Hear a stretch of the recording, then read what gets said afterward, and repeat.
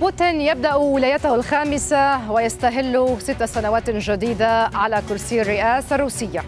يتعهد بأن تخرج بلاده من المرحلة الصعبة. أكثر قوة.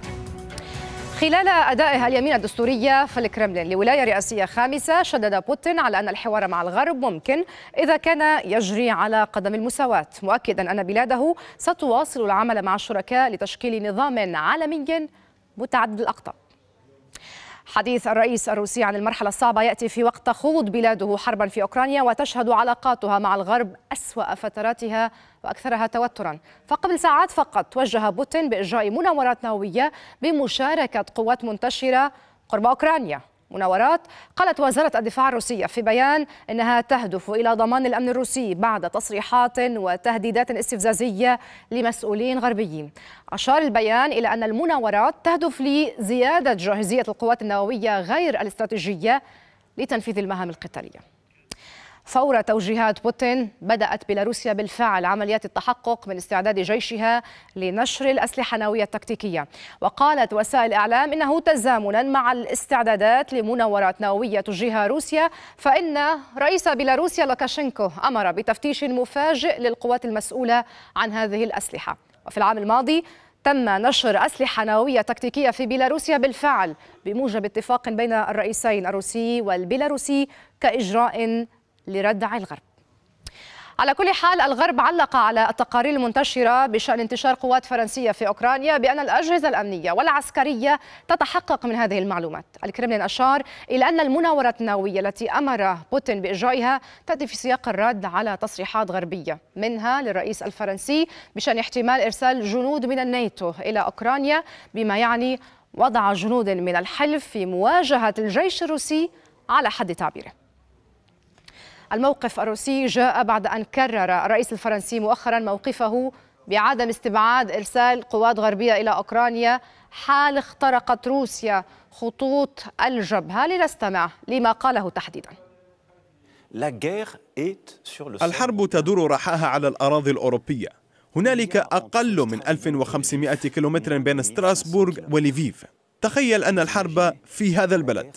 ذلك ليس خيالا وليس بعيدا عنا. كل هذه الخيارات ممكنة. الوحيد الذي سيتحمل المسؤولية هو نظام الكرملين. ولن نكون نحن. لن نقود أبدا هجوما أو نأخذ زمام المبادرة. ففرنسا قوة السلام. ولكن اليوم من أجل إحلال السلام في أوكرانيا لا ينبغي للمرء أن يكون ضعيفا. طبعا تصريحات ماكرون هذه تكررت كثيرا خلال الفترة الماضية. ولكن أغلب الدول الأوروبية والولايات المتحدة نأت بنفسها عن هذا الموقف الذي وصف بالخطير واكتفت فقط بالتعهد بإرسال مزيد من الدعم العسكري الذي تحتاجه كييف في حربها مع روسيا.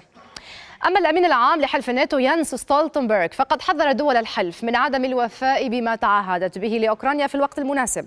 وقال إن التأخر الخطير في الدعم يعني عواقب وخيمة في ساحة المعركة بالنسبة لأوكرانيا وأن الدول الأعضاء في الناتو وافقت على تزويد أوكرانيا بمزيد من الدفاعات الجوية.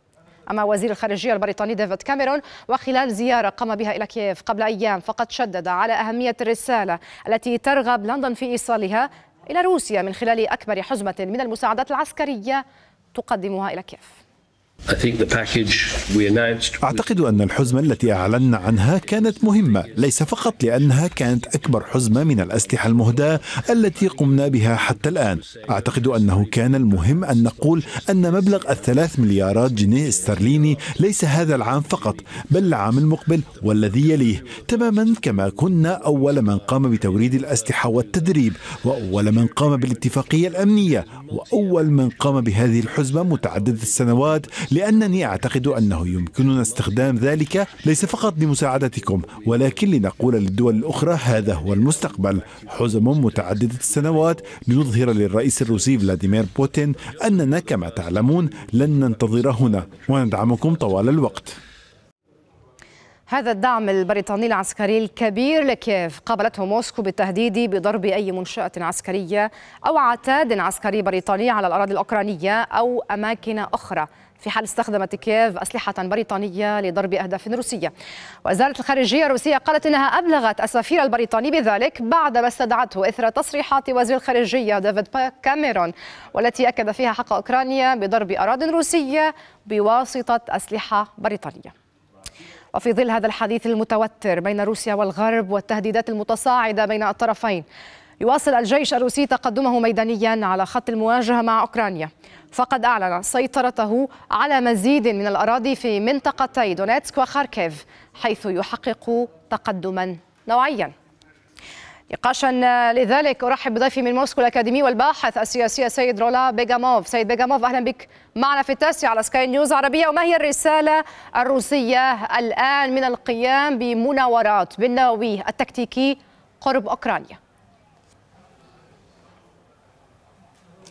شكرا لاستضافتي. بلا شك أمر بوتين بالاعداد لهذه المناورات. هو يجب قراءته في سياق ما جرى في الأسبوع الأخير خاصة بعد 2 مايو عندما دعا ديفيد كاميرون لاستخدام الأسلحة الهجومية ضد روسيا. وحتى الآن بريطانيا وفرنسا كانت تورد إلى هناك أسلحة هجومية ولكن مع شرط شريطة أن لا يتم ضرب أراضي روسيا. ولكن في الآونة الأخيرة بعدما شعر الغرب بفقدان المبادرة الاستراتيجية وفشل الهجوم الأوكراني انتقل إلى أساليب أخرى. وهناك حرب الرسائل المتبادلة. كل شيء يتوقف الآن الغرب لأن هناك الأصوات والأطراف التي تدعو إلى إلى الحلول السلمية. ولكن سيد بيجاموف يعني اسمح لي منذ فبراير بالعام 2022 تاريخ انطلاق العملية العسكرية الروسية الخاصة بأوكرانيا وبوتين يلوح باستخدام النووي التكتيكي بوجه الناتو.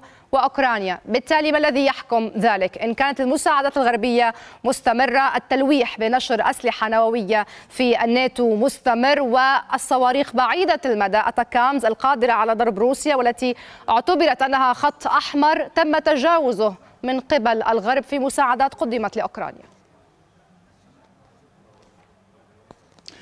يجب أن نقول أن بوتين دائما يتحرك بخطوات بطيئة جدا ووفقا لل العقيدة النووية الروسية. يعني حتى الآن لم يتم تخطي هذه الخطوط الحمراء الروسية التي ستطلب استخدام السلاح النووي التكتيكي وربما لا قدر الله السلاح الاستراتيجي. وفي حال استخدم السلاح الاستراتيجي النووي الروسي والصواريخ الروسية ستصل إلى برلين في أقل من دقيقتين وإلى فرنسا خلال دقيقتين. إلى باريس وحتى الآن لا لن لا يت لم يتجاوز الغرب مثل هذه الخطوط طيب. ولكن هو هو بالفعل لم يتجاوز هذه الخطوط.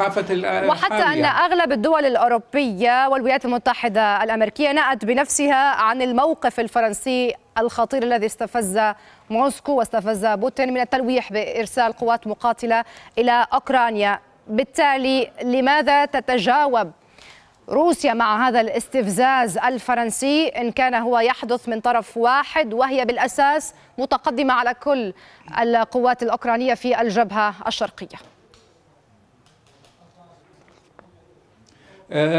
اسمح لي أن أوضح هذه النقطة اولا م. هناك الطائرات إف 16 الأمريكية التي تعطي قريبا إلى إلى أوكرانيا وهي تستطيع أن تحمل السلاح النووي مصممة لحمل السلاح وهذا يعتبر تهديدا مباشرا. م. هناك اقتراح بولندا بولندا تطلب نشر السلاح النووي على أراضيها. هناك الكلام السيد فرانس ماكرون لإرسال القوات مباشرة القوات الفرنسية إلى أوكرانيا. فلذلك ترد روسيا أيضا بمثل هذه الرسائل بحيث تكون كل القروض كل الأوراق روسيا مكشوفة وأمام العين. يعني روسيا جاهزة لجميع الخيارات. يتوقف الغرب. إما هو يختار طريقة المواصلة مواصلة التصعيد وسترد عليه روسيا بمزيد من التصعيد لأن هي هذا هو الطريق الاستراتيجي الوحيد الخيار الوحيد تستطيع أن روسيا أن تستخدمه في مثل هذه الظروف نعم. يجب القول الحقيقة ويجب تهدئه رؤوس ساخنة مثل ما ماكرون والأخطر منه هو ديفيد كاميرون نعم سيد البريطاني هو أخطر من الموقف الفرنسي والدليل على ذلك وصلت الفكرة وانتهى وقت التاسعه تماما ضيفي من موسكو سيد رولا بيغاموف. شكرا جزيلا لك على هذه الإيضاحات القيمة.